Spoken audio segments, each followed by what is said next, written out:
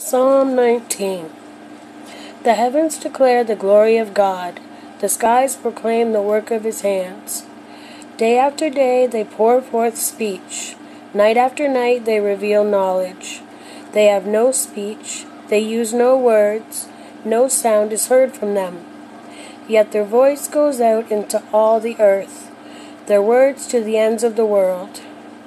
In the heavens God has pitched a tent for the sun it is like a bridegroom coming out of his chamber, like a champion rejoicing to run his course.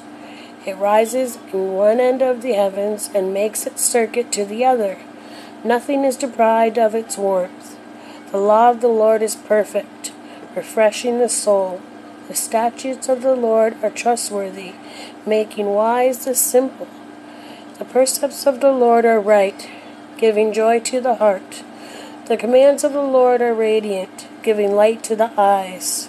The fear of the Lord is pure, enduring forever. The decrees of the Lord are firm, and all of them are righteous.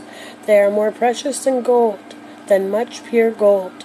They are sweeter than honey, than honey from the honeycomb. By them your servant is warned.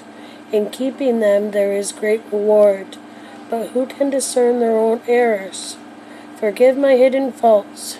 Keep your servant also from wilful sins. May they not rule over me. Then I will be blameless, innocent of great transgression.